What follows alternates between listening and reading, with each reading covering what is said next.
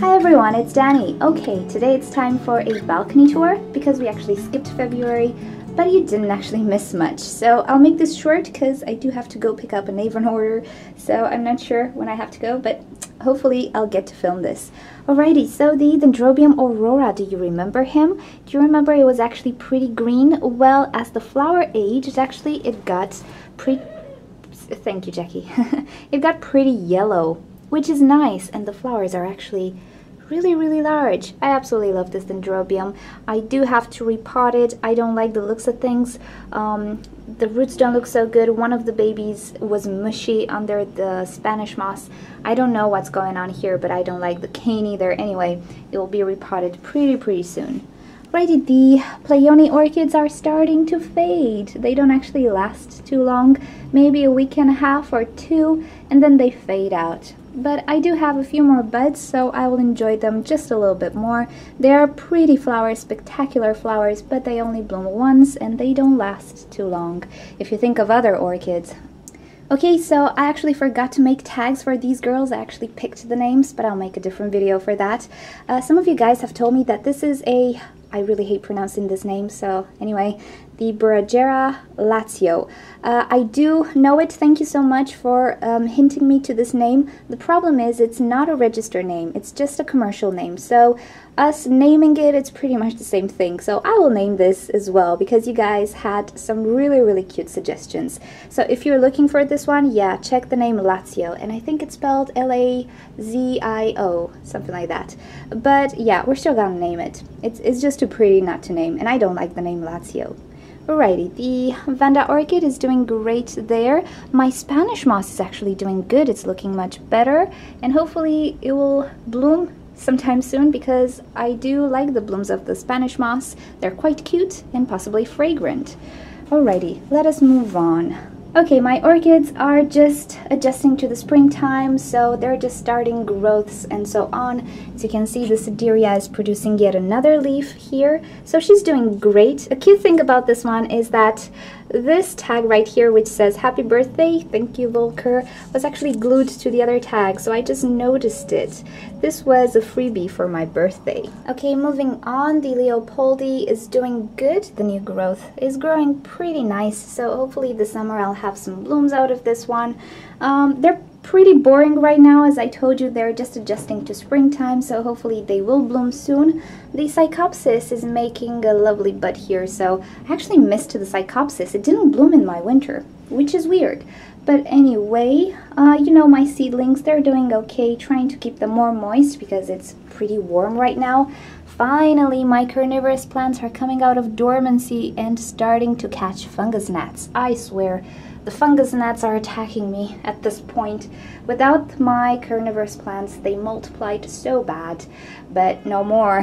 Alrighty, so the Tetraspis, oh, she's so frustrating. I don't know what she's doing. She's producing another flower spike here, and this flower spike is a bit on pause. I don't know what she's doing. She really frustrates me sometimes. Okay, nothing much happening here. Hopefully the maxillarias will bloom this summer. Uh, this one, the Rufescens, actually bloomed and she was really pretty, but the Tenuifolia not yet, and I'm dying. I just want to smell her flowers. I want to smell the coconut scent.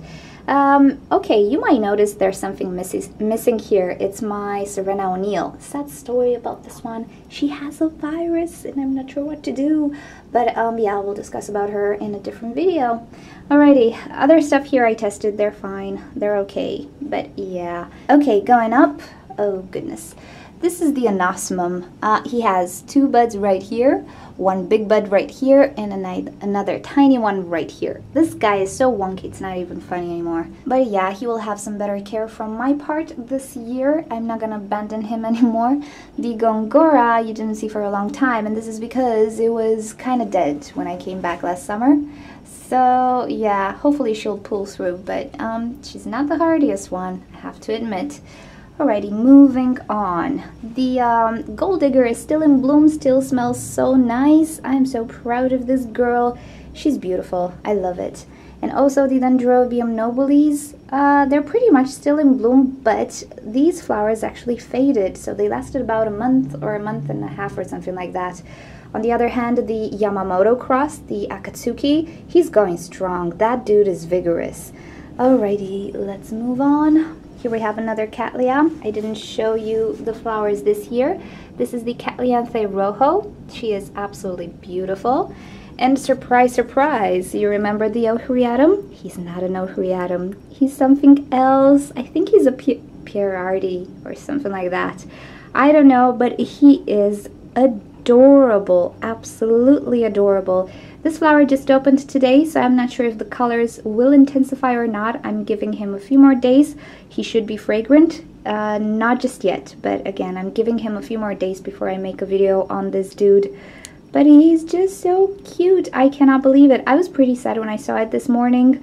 Uh, just opening up, it, looks, it used to look like this. And I was sad it was not an Ohriatum, but I love him. I Oh my goodness, look at these petals. They're, they're translucid or something like that. Ad adorable little guy. I love him so much. And hopefully he has a fragrance. Alrighty. What else? The uh, Epidendrum he will bloom pretty soon, so I'm excited about him. The um, Paphiopedilums are really starting to grow really fast for me. Um, this is a new baby that came out in my care. Again, this has a new baby right here that came out in my care. They're growing really, really fast, which is nice. I've actually started to water the catasetum because, I don't know, it was just too shriveled. So he has quite a lot of long roots, so I started to water him. The Sedirea, ooh, I cannot wait to see her blooms. I can already see the pattern on the buds, which is pretty. So hopefully in a few days, I'll have some blooms to show you as well. Alrighty, moving on. The Catatante Pacific Sunspots, he will be glorious, I, I suppose, this time. Look at this spike. It's gonna be full of flowers, and also uh, this one yeah, he's doing really good, really great. The Nelly Isler is there. Um, this shoot actually looks pretty good, but I do have some wrinkling of other shoots. I don't know. I don't know. It's it, She's high maintenance, but I love her still. Okay, we have another shoot here. This guy suffered last summer as well, pretty, pretty badly. This is a cross with a Miltonia, so yeah, lack of water, hmm, not good. But he's producing a flower spike. Okay, what else is interesting here? Nothing much. The oncidiums are actually doing really, really good. Uh, I have another flower spike on this guy. And the Chysis is losing his leaves, which is very normal, but the new growth does not want to bloom. So I lost all hope, everything. No flowers for me this year, which sucks, but that's it. That's that. Alrighty, right here, oh, this is the sick corner, but I do have some flowers here. Uh, this, these are the orchids that managed to barely survive this summer, so I kept them, but um, the ones that did, didn't really survive, they were lost causes I had to throw away. Anyway, a, uh, a Phalaenopsis, surprisingly here, I just love this one. She looks really pretty, so I kept it. And downstairs, Cattleya is fading away. The Jiminy Cricket Brassavola is growing.